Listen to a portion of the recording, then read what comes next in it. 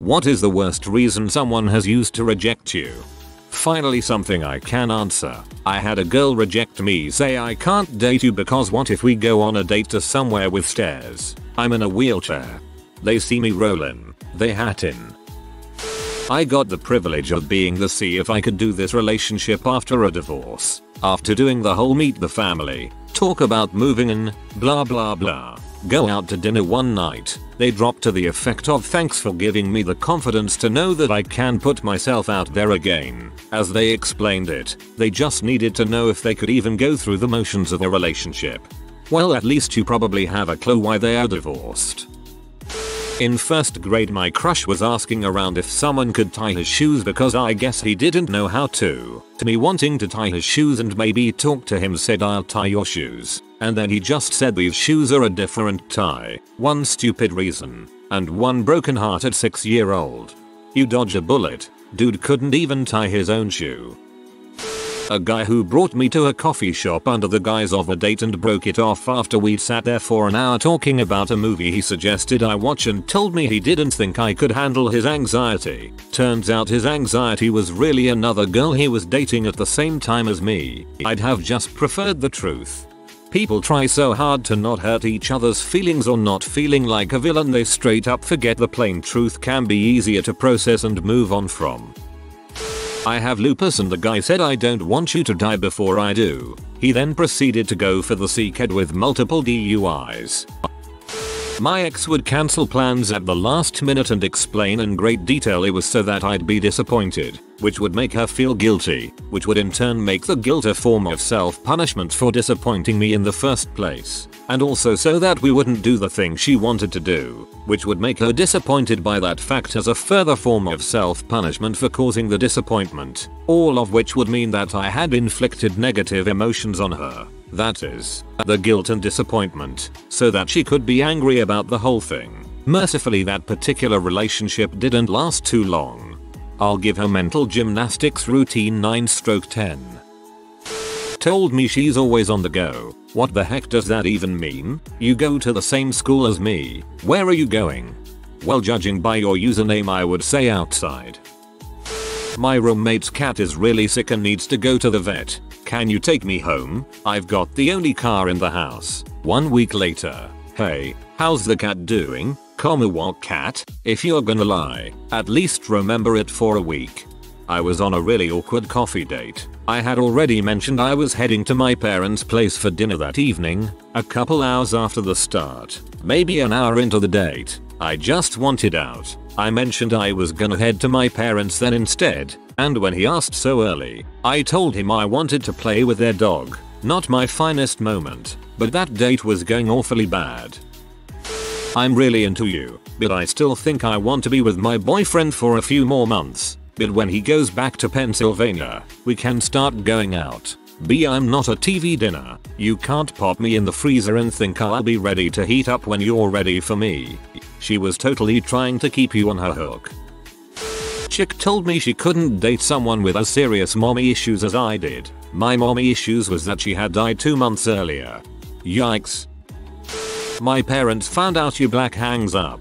I was in 9th grade when this happened. We had been talking on the phone and texting for half of that year before he dropped this bomb on me. I ended up moving away, further south, and he called me out of the blue once we both moved out of our parents' house and into college dorms. Stupid me was reasoning with myself maybe moving out has broadened his horizons. Not even 2 minutes into the call he began laughing asking why I sound like a black girl, and started mocking me. I've always received the exact opposite response. Whoa, you talk so proper, or you sound like a white girl. So yes, indeed, they did me a favor, but it hurt nonetheless. This was in 2012.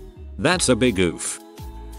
He told me it was weird dating someone so much younger, especially since I was just one year older than his little brother. This was lame, because he was only two years older than me. We were in high school. It was also a lie, because he later dated my best friend who was, admittedly, older than me, but only by 10 hours and 2 minutes. We had the same exact birthday.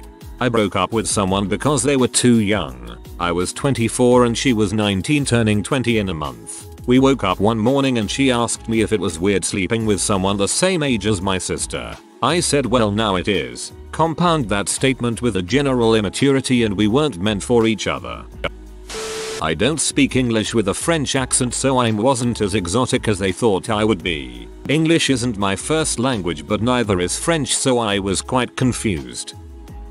I have a friend that asked her crush to prom and he said nah I have better things to do. She came up with an elaborate idea too. It was really sad. I felt like I was with a child because I have dwarfism. I don't blame her at all for feeling that way, and it's a totally justified reason to not feel attraction towards me, but frick did that do a number on my self-esteem.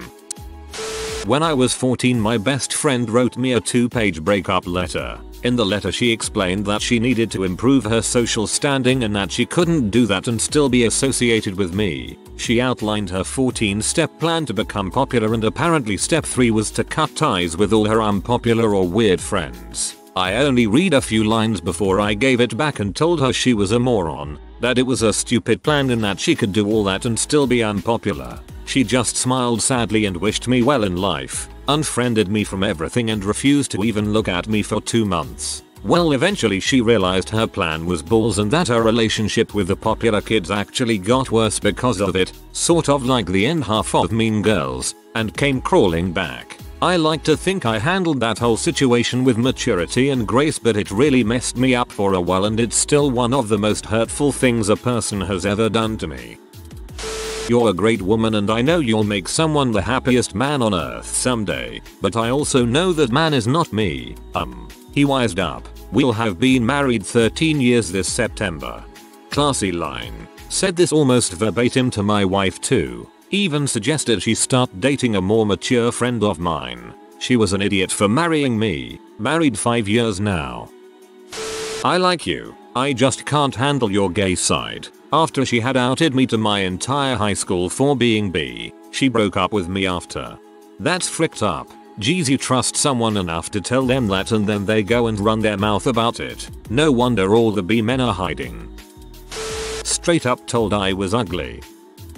I heard your family is full of pieces of crap. I was am fat and at best a 6 when I clean up nice so I can get past any comments on my looks. Everyone has their own tastes. Sucks, but whatever. However being turned down because of my crap family, that I in no way acted like or resembled, still hurt because I had no control over it.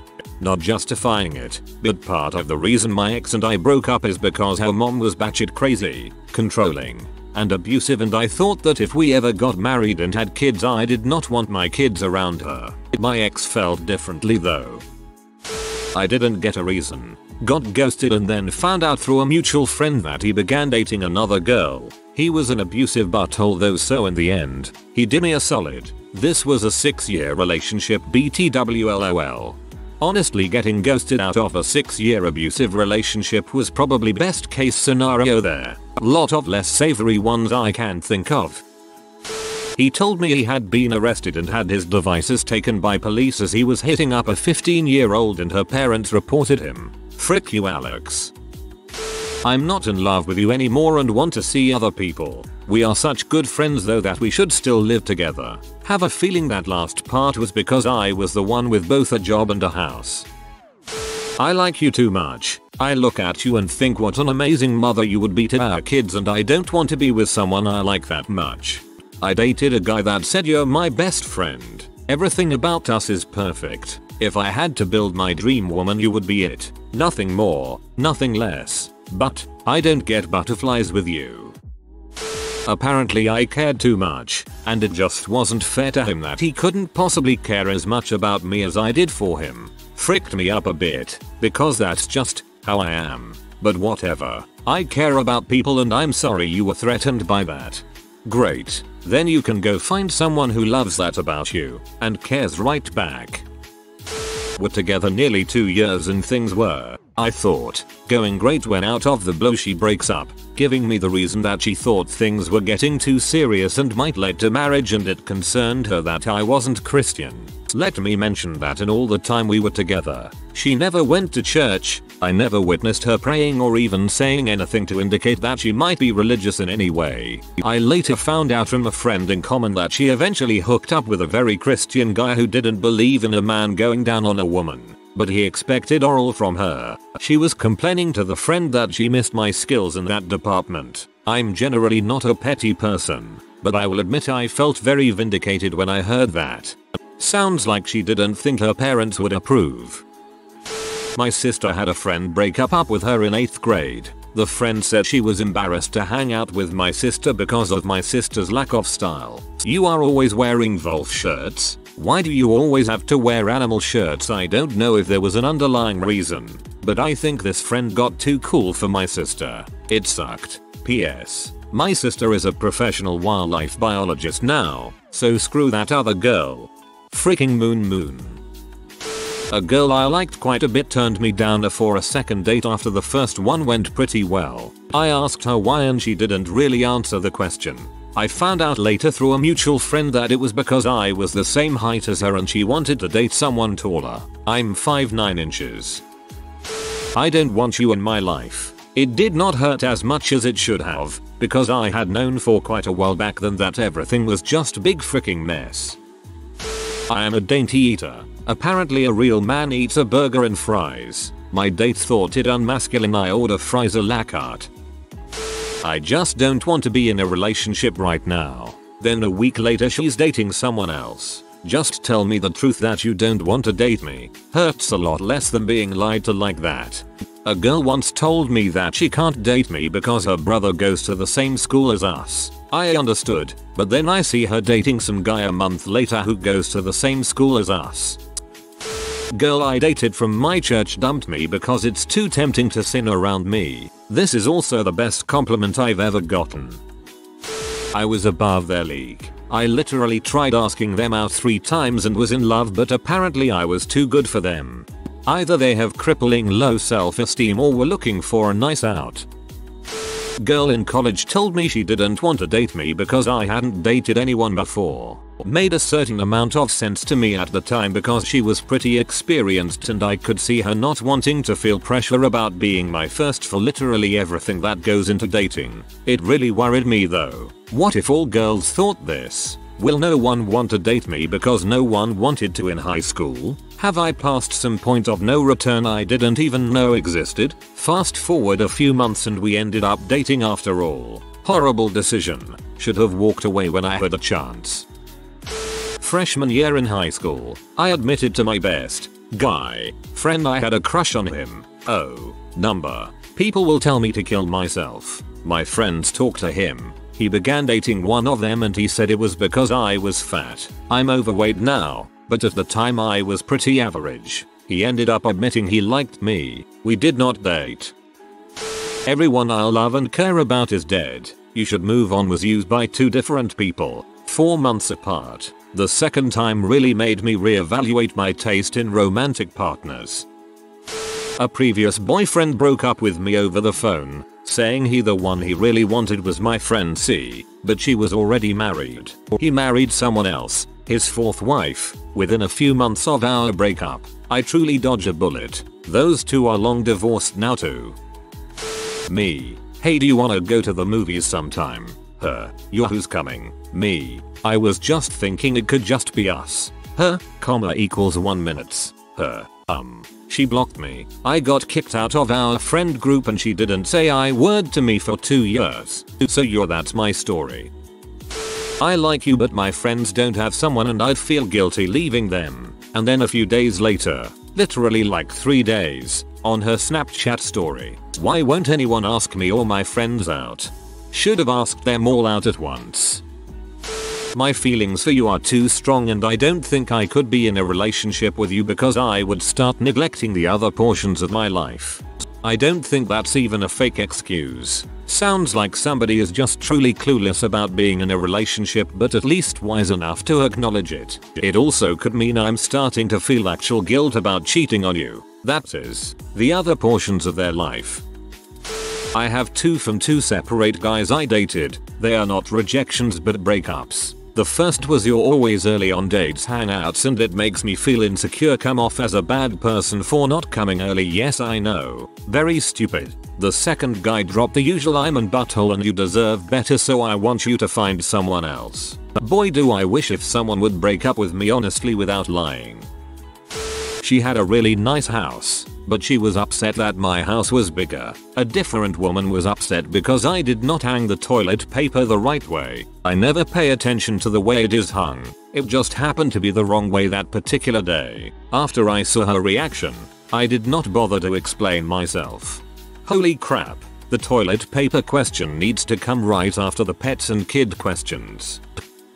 Mostly my weight, which is totally understandable, but there's a way to say it and not be rude. In the past I used to get guys matching me to just make fun of me colon people can be cruel. Girl I was dating for 2 months spent said 2 months telling me how amazing I was, how unique I was, and that she cared more for me than she thought possible for the amount of time we'd been dating. Dumped me because she wanted to date multiple people and experience dating in general, rather than staying with one guy who cares about her. but Still feels badman. As much as it sucks, at least she was honest with you. It pretty much boiled down to him. I love you. Me. Then can we date? Him. Well, I actually love multiple people right now. Found out the hard way that he clearly did not have the same definition of love as I did. Not being clingy enough. Admittedly I'm not really a clingy person, but she was so independent and was so slow at messaging back. We dated for a few weeks to be told I'm not clingy enough. She went for my best friend who was the most clingy person I know and she literally destroyed him emotionally. Seeing what had happened I dodged a bullet although I got annoyed and basically forced him to end it as he was so unhappy and kept coming to me in tears. He hasn't been the same since. If you are new to the channel, you can subscribe. I publish new videos every day. Until then, check another video.